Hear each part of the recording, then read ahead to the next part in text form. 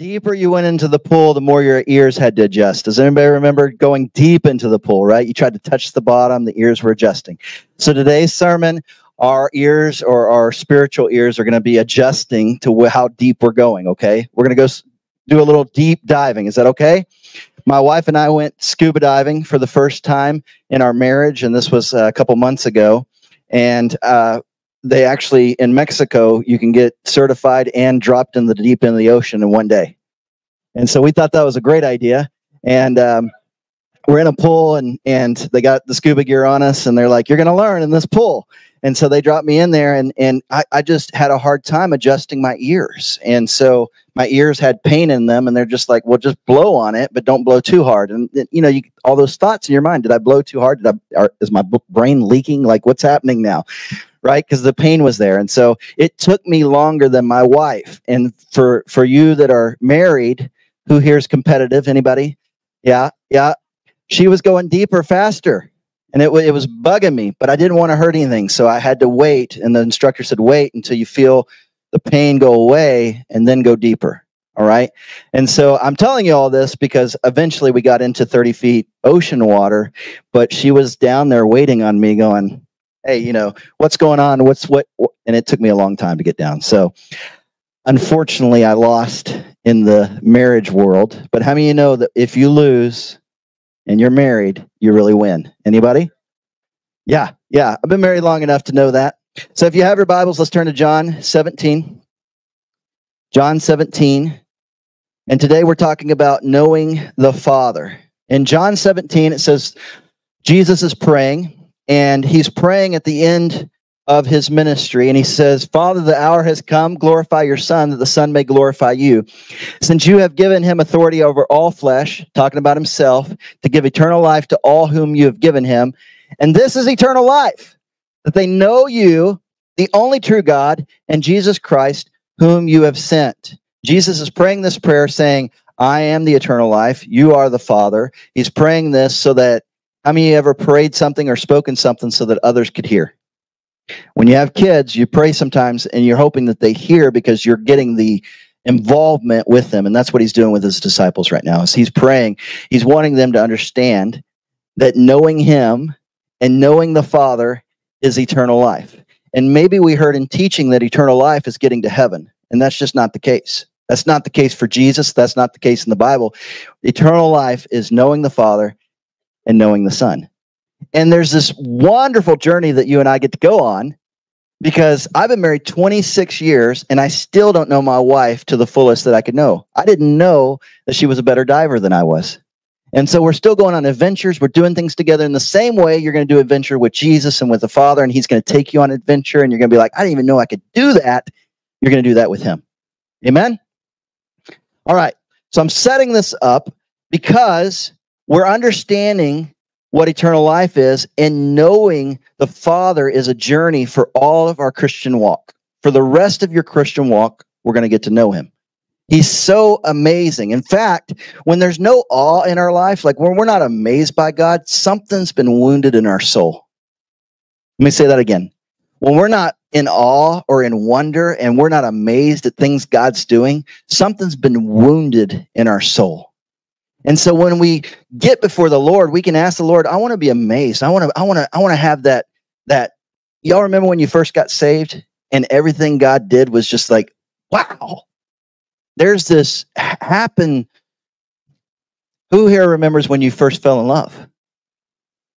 Some of y'all do. Some of y'all, it's been a long time. But there was this man, I can't wait to be around this person. I can't wait to get on the phone with them. I can't wait. And so that awe and that amazement is not just from spending time with God, but it's also knowing Him. And so we can open up the Word and we can know Him. And there's seasons in our life where we can get to know Him in ways that we've never known Him before. Amen. Saul uh, in the in Acts, we, we see Saul, and, and Saul was persecuting the church. And if you don't know the story, Saul was actually murdering Christians, and he thought he knew God. He actually was doing it because he thought he was doing God's will. He thought he knew God. In fact, he understood the old covenant. Uh, he was a, a, a professional theologian of the old covenant. and and he thought he knew God. He thought he heard God. He thought he was doing the obedience of God, and he was murdering Christians on behalf of God. So he thought. And so he's walking down the road of Damascus, and he's he's stopped by Jesus himself. If you go and you read the scripture, it's a really cool story because a, a bright light is shining, and, and Jesus is asking, Why are you persecuting me? And he's blinded in this moment like he's frozen and and and can't move on and and and and it's this moment where everything shifts he goes from persecuting and murdering to being completely useless and blinded and he needs the body of Christ to come to him to explain to him what is happening and the father wants to heal him and change his life around but i love it because he actually asked someone to go and pray for Saul Y'all think about this. If someone was murdering people in, in church and I gave you a call and said, Hey, we got somebody that's uh, I'd like for you to go witness to. And uh, yeah, they've murdered a few Christians, but I, I, would love for you to go stop by their house and, and pray for them. How many y'all are going to be like, Pastor Brandon, you're crazy? Right? You would have to hear from the Lord on that one. I know some some of y'all don't even want to. Anyways, okay. Oh, uh, so let's pick up in Acts chapter 22, verse 11. In Acts chapter 22, verse 11, let's go there. And it says, now he's there to pray for him. And he's praying over him. He says, Brother Saul, receive your sight. And at that very hour, I received my sight and saw him. And he said, The God of our fathers appointed you to know his will. Now, this is the one that has been praying for Saul. The God of our fathers appointed you to know his will, see the righteous one, and hear a voice from his mouth. This is my prayer for you as a church. This is my prayer for every Christian and, and listening to this online. You know his will, you see the righteous one, and you hear the voice of Jesus. That's my prayer for you. I want you to walk away today knowing his will, to see the righteous one, and hear a voice from his mouth. And we're going to continue this journey for the rest of our Christian walk. Amen. So write this down if you're taking notes. When you get to know the Father, you get to know his will to do it. When you get to know the Father, you get to know his will to do the will of the Father. Amen. When you get to know him, you're going to get to know his will. I remember uh, we were a young church and we were actually growing at the time and, and had some pretty good growth. I think we were about to 150, 170. And, and I reached out to a local church and they were a mega church and they, and, and I was just looking for some coaching. I had some other coaches, uh, um, giving me some some wisdom and i was just reaching out to men and, and pastors that have been there ahead of me and i reached out to a local church and they sent a guy over and he had he had pastored he was a lead pastor of like uh, eight to ten thousand people and he'd done it for 20 years and then now he was just uh, working for this big mega church in this area and and so I, I was i was ready to just have some wisdom that was spoken in and he began to talk about how we do leadership and I said, Yeah, we have uh, both women and men as overseers in our church. And he said, That's not biblical. And I'm like, Wait, what? He said, Yeah, that's not biblical. He's like, You guys are not living the blessed multiplication that you could if you just had men. And I'm like, Man, I got to go to the word on this. I got to get back in my scripture and get get back into my prayer time with the Lord because I just didn't. I mean, I've been in it. But then I got before the Lord. And here's here's something the Lord shared with me. Brandon, you need both voices in your home. You would never make decisions in your house without your wife. I'm talking about major decisions. All right. I can cook without her permission. I don't know if y'all know this, but I value her voice and it's wisdom to include both.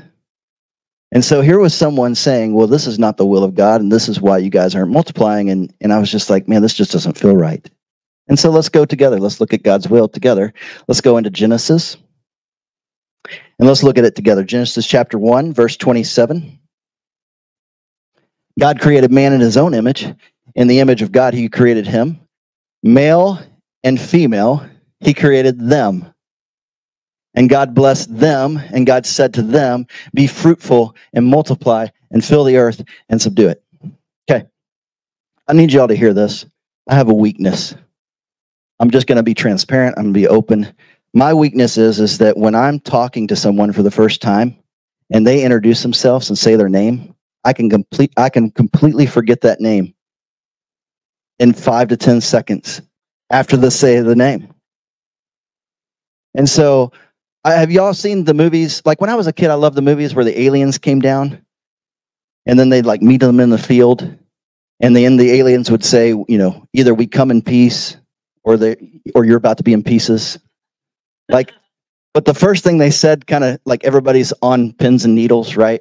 And they're waiting for the first thing that they say because you then you know how the movie's going to turn out, right? Like you really, really okay. It's about having a relationship with aliens, or it's about aliens taking over Earth. Like, where's this movie going, right? So you, to hear the plot, you want to know what they say first, right? Well, this is Genesis, and this is the first time that God speaks to Adam and Eve, and this is the plot. And how many of us have forgotten it? Because this is His will. He says, I want you to be fruitful and multiply. And I want you to fill the earth and subdue it. I mean, this is good knowing the Father's will. Amen? So let's go into some opposites. Let's go to the opposites of fruitful. Can we show this slide? The next one says, What's the opposite of fruitful? Barren, unproductive. So God's heart for you is to be fruitful. And when we have an area in our life that's barren or unproductive, that's not God's heart. And so the Bible says, resist the devil and submit to God. It doesn't say resist the devil and he will flee. It says resist the devil and submit to God and he will flee. So it's both. I want to resist, but how do I resist? I submit to God. And so by submitting to his will and understanding what his will is, we won't be resisting things that are coming our way from him. You see this? And so being fruitful is something that God has a desire in every area of your life your relationships, your children, your business, your money, like the things that matter, he wants them to be fruitful and to multiply. Well, I'm just not sure if God didn't just give me this sickness. Well, is that productive? No. And so his his desire is for us to be fruitful. Does that mean that everything's happening on the earth that's fruitful and multiplying? No. And we're going to talk and we're going to open up and we're going to see this. I, I want to encourage you that this was God's desire in the garden, and it's his desire when he gave us a son, Jesus. So let's look at another opposite multiply, divide, decrease.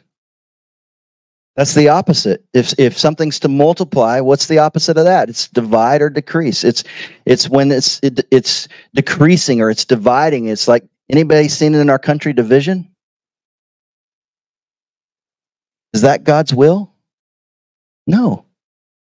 And so that's not his heart for our country. That's not his heart for our church. How about fill, empty, or drain? He wants to fill you. He wants to come. The Bible says that when we sing to one another, we're filled with the Holy Spirit. When we come together and we sing together, we're filled with the Holy Spirit. I don't sing to people at work. They invite me into their house to sell them homes. I, I don't sing to them, but I come to church and we sing to one another to encourage one another. The Bible says to sing psalms and hymns to one another. You can sing at church or sing at work. That's okay. Just no one's asked me to. And then let's go to the final one, which is subdue or conquer. Like you're made more than a conqueror in Christ Jesus. That's that's his heart for you and I to be more than a conqueror. And and a lot of times we use the word surrender in church and and I've looked, I can't find it in the Bible. That word surrender is not there, but submit is.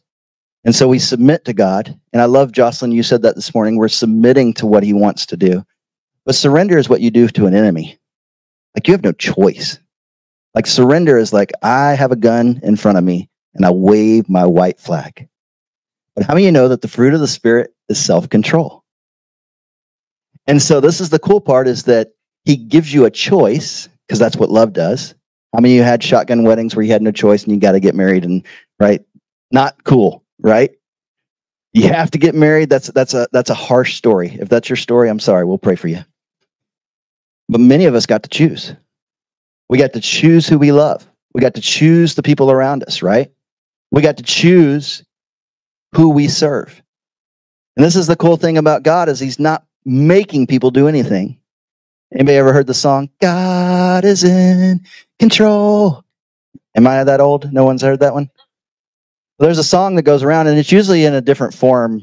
I mean, there's all sorts of songs about God's in control control and and the world's confused because they're like, man, if this is the earth and he's in control, I don't know that I want to be under submission to this type of God. Think about what's going on in the earth today. There's there's sex slavery. There's a divided country. There's there's all sorts of evil that's going on, right? And yet sometimes Christians are not understanding his will and saying, well, God's in control. And the truth of the matter, as we begin to dig into the word, we begin to understand that we submit and we follow Jesus and we learn how to trust him and we learn how to be obedient.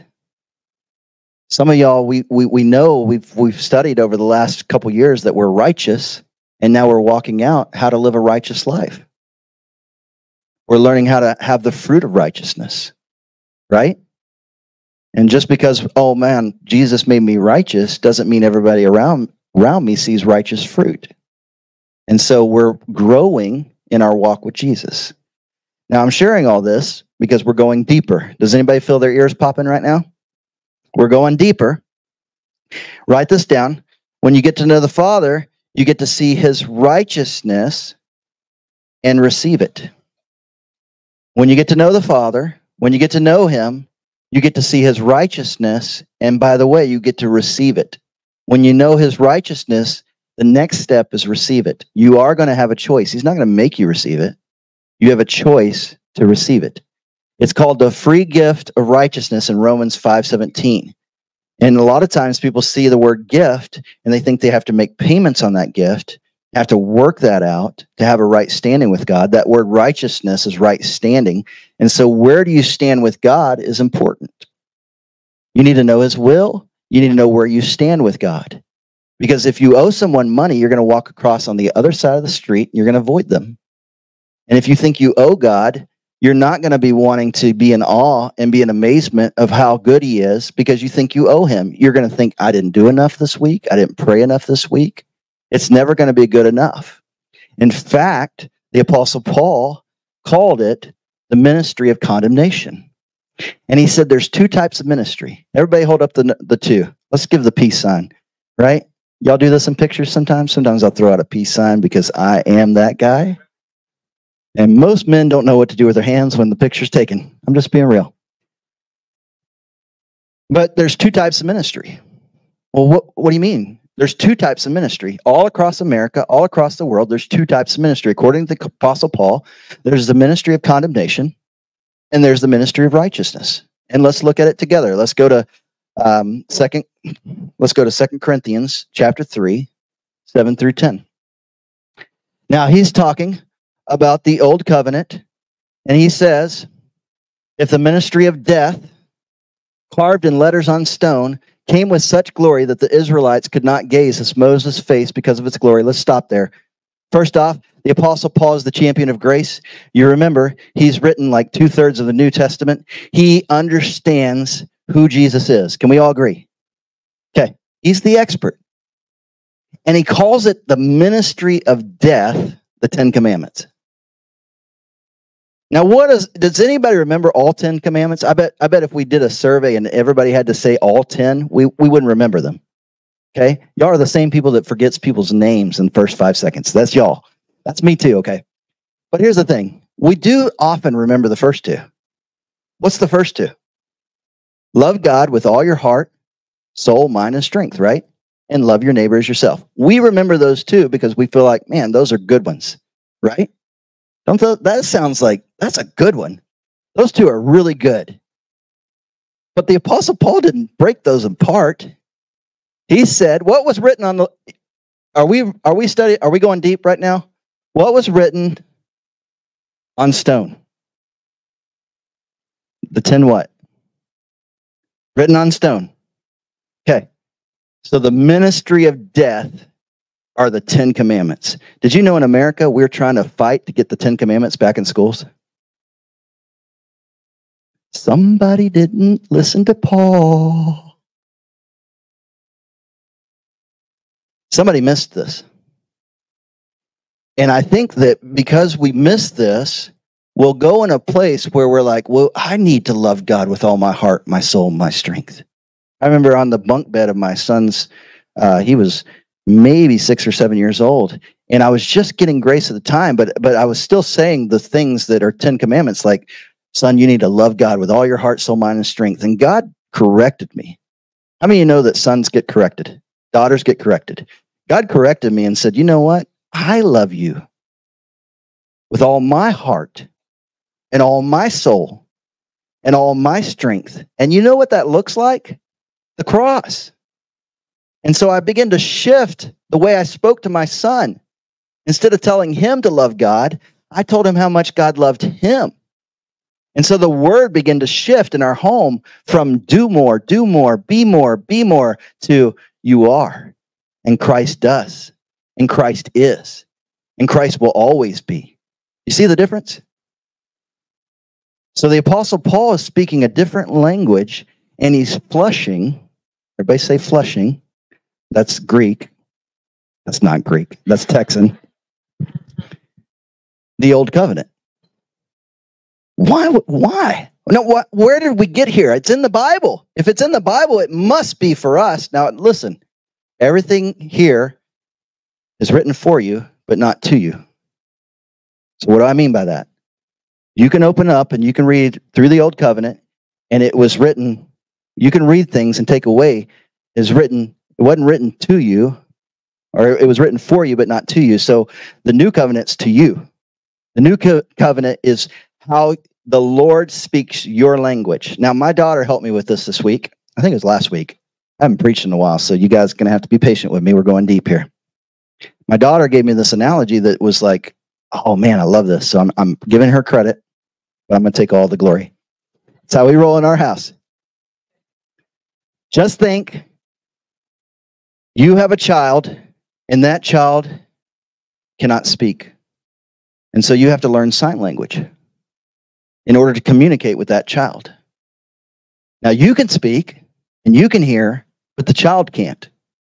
And so you're learning a different language in order to have relationship with that child. Now let's go back in history and let's see how God does a miracle and pulls them out of Egypt. And I'm talking about the Israelites. They're his, his beloved people, and he pulls them out of Egypt from slavery. And the only language that they know is fear. That's it. That's all they can speak is fear. He offers them to be priests, to minister, to have relationship with him. And they say, no, no, no, no. We're too afraid of you, God have Moses be the one. And so all they can speak is in, in this instance is like a sign language.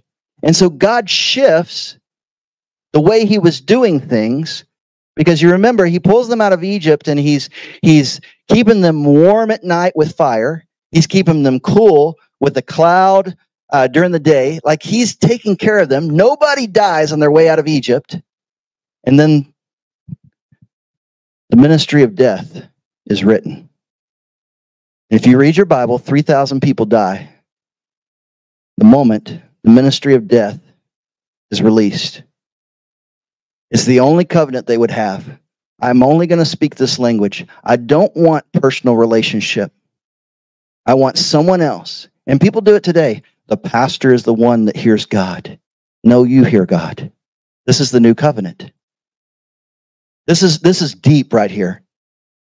This is this is the deep end right here because you get to have relationship with the Father and you have a perfect standing with him. And the reason why you have this perfect standing is because he loves you and you get to speak his language. And fear, guess what? Perfect love casts out fear. Because fear has to do with what? Punishment or judgment.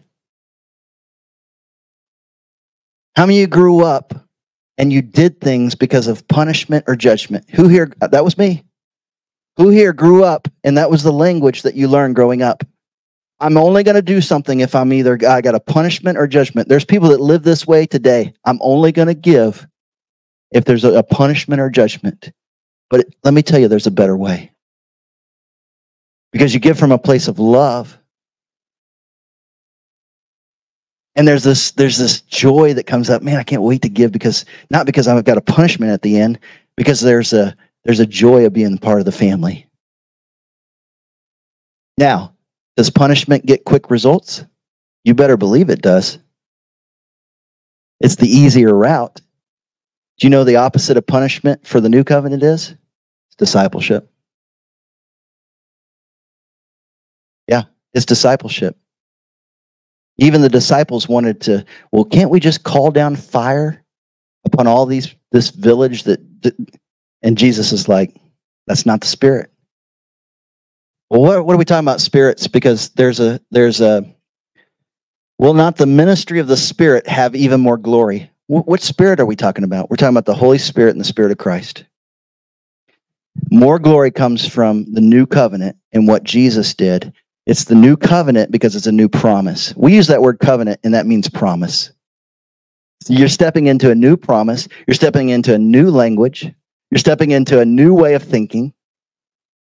And if you open up the word and you don't know how to translate, but you go in there looking for fear, guess what you guess what you'll find?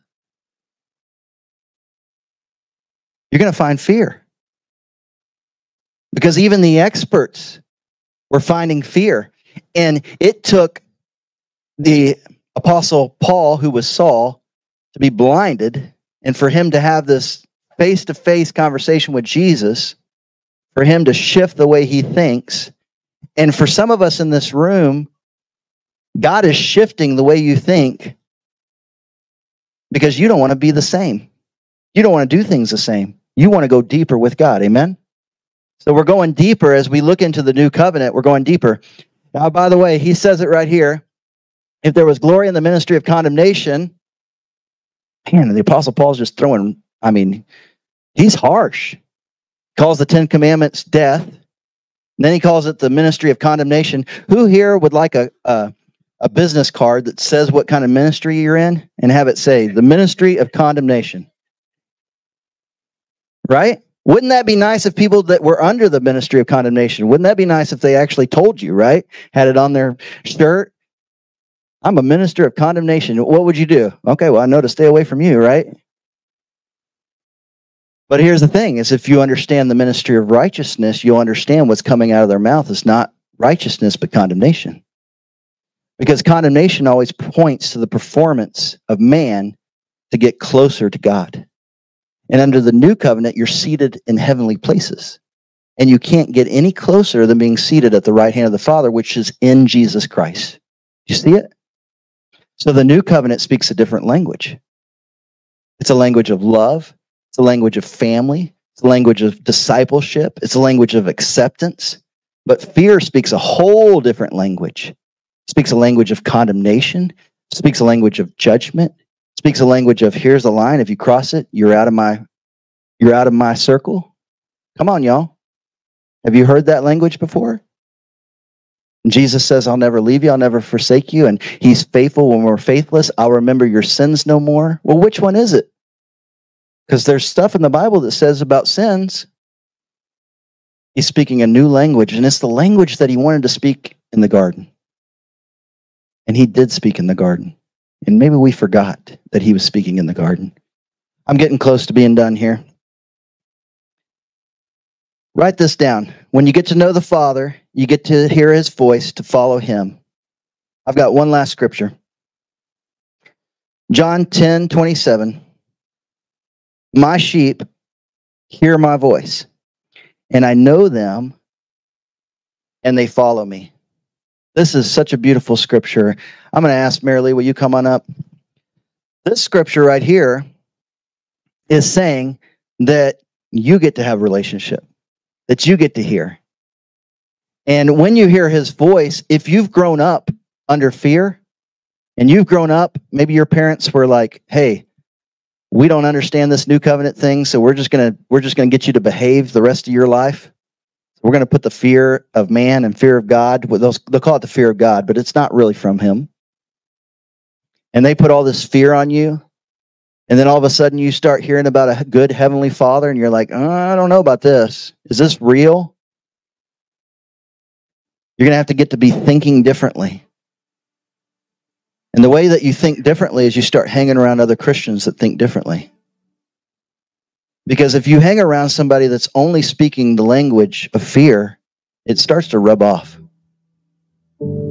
You're like, yeah, yeah, yeah, I think that is how God acts. But you start hanging around Christians that believe in the ministry of righteousness. It's not that you can't minister to those Christians, but I'm talking about doing partnership and hanging out. I'm talking about, hey, uh, we got some single boys in this room, some young men, single young ladies in this room, and you're looking to get married one day. And you need to ask the question do they speak the ministry of righteousness? Or do they speak the ministry of condemnation? When they talk about God and church, do they get excited? Or are they afraid of God?